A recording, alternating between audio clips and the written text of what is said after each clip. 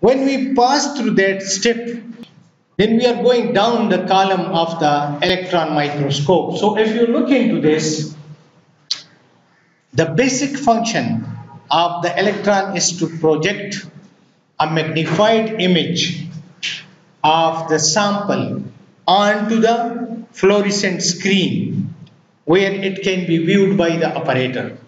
So the gun emits electrons, you shape them into a beam that is projected upon the sample. The beam strikes the sample and that striking gives rise to numerous events. Some are transmitted, some are diffracted, some are deflected, some are reflected. All sorts of events occur when the electron beam strikes upon the sample. Now it is you, your facilities in the machine that which electron do you use for your information. So if you have a transmission arrangement, then you can get the transmitted image of the sample. If you have a detector where you can detect the X-rays coming out because of the striking of those electrons. Because when the electron strikes an atom, it displaces the electrons in the shells of the atom. And when they are excited and de-excited, X-rays are emitted and those X-rays you have a detector for those then you will know about the chemistry of the material. Similarly if you have something for the reflection for those reflected in scanning electron microscopy we call them backscattered electrons. Backscattered means reflected back right then we can do compositional analysis with them right? So it depends upon the detectors which you have in your machine.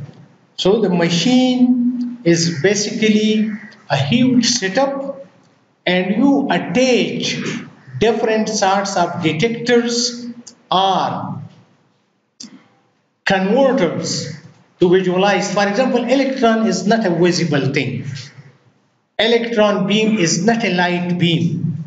So you need something that which is struck by the electron and they show you something.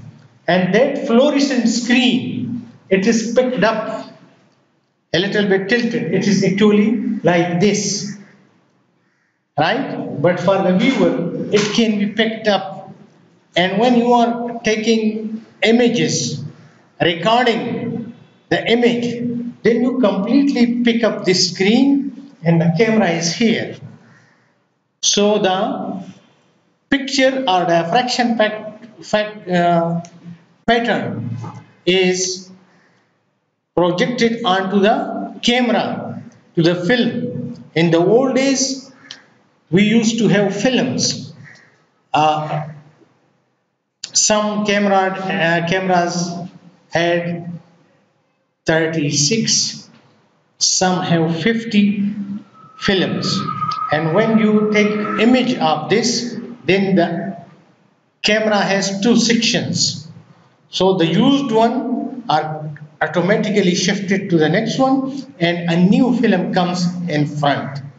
Then you take another image and it automatically shifted to the used ones and another appears here. So this is the output of those electrons. Now, if you look into this image, on the top is the electron gun, which is the source of electron. Then for simplicity, I am giving you the very simplistic picture and we will slightly go towards a little bit complicated with time. But to make your idea, at this level you should be at least able to visualize things in your mind that how they look like what is happening inside there. Because science, science is the answer of why. So if something is happening and you tell them to somebody and you can't answer the why, then you are a newspaper reporter or simply a technician. But if you know the answer of why, that makes you a scientist. Right? So, in the start, we the simplistic picture is that when the electron beam come, comes out of the electron gun and it is shaped into that beam shape, then you have the condenser lens, which is the next one there. And it is followed by an aperture. So if you look into it and it comes from, through this aperture, then it comes to the objective lens. And the objective lens is below the sample. Uh, they have shown it here just for uh, as a schematic, but the objective lens should come after the specimen in the microscope. So what the condenser does and what the objective does. Each lens contributes to the magnification. And if that magnification is, for example, one lens is offering you 100 times magnification.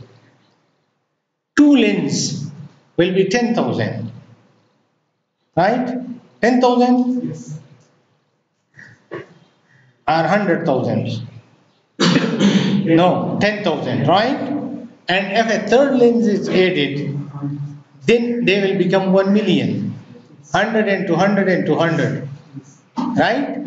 So the addition of a lens basically means multiplied by 100. And that 100 is not a small thing because when you talk in terms of hundreds, they are taking you to millions. And that millions means a million miles, a million feet, a million inches, a million centimeters, a million angstroms. Right? So if one angstrom is magnified to 1 million angstroms. This means that you transformed the invisible world, which was inaccessible through naked eye, 1 million times and it became your macroscopic object and you can show it to people that I have seen this and I have imaged this. So this is not a small thing, right? When the beam passes through the condenser lens, it is well focused, the scattered, the as we were discussing in the resolution section, if you remember, we were talking of the very low angle of illumination. Very low angle of illumination. In optical microscopy, you can play with that. You have a good choice, a wide room, open room to change the numerical aperture NA of the uh, imaging device.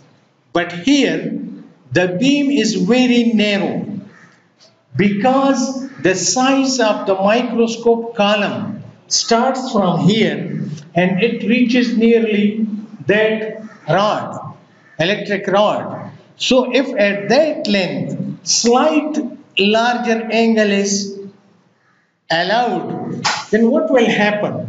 Instead of the screen, you will have the whole floor enlightened. And the beams of electron will not be manageable. This is just like that when you are coming in the night and you are driving and a flashlight comes in front of you. So you can see nothing. That is why we are excluding many beams which can confuse the image which can confuse the diffraction pattern. And that is why the beam, whenever you talk of the transmission electron microscopy, you must keep in mind that the angle is very narrow. The things you see in the microscope and the things you interpret what you see in the microscope, please keep in mind that the angle is very, very narrow. So if you are talking of transmission electron microscopy and you are considering larger angles, then it will be a stupidity.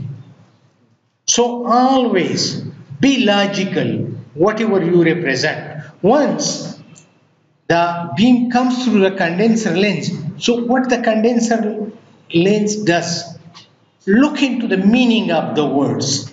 Squeeze down the, image, the beam and to the, and to the size you want. So condenser means the device, the component which condenses the beam into the desired size. And at the same time, the voltage is also communicated through these lenses, which accelerates the beam. And you know that the acceleration voltage is basically defining the wavelength of the beam you use.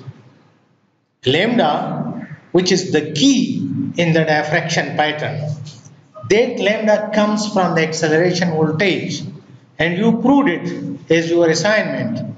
That lambda is equal to 1.5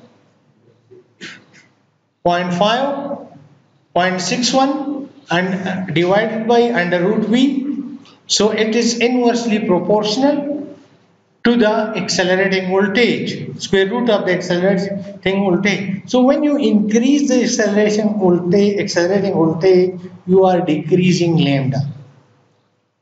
You are decreasing lambda. The lower the value of lambda, the higher will be the resolution of the machine. Right? And I give you the very simple example of spade spoon and tweezer that if the lambda is larger than what you are measuring then that lambda will not diffract from there. The lambda will fall like this. It will not go into the finer details. So the meter rod i give you the example. So if it is not calibrated a meter rod is not calibrated with centimeter and millimeter and you measure one inch or one centimeter. You can't measure with that. The same thing is here that the lambda will not diffract if the dimensions of the interplanar spacings are and the wavelength are not mutually comparable.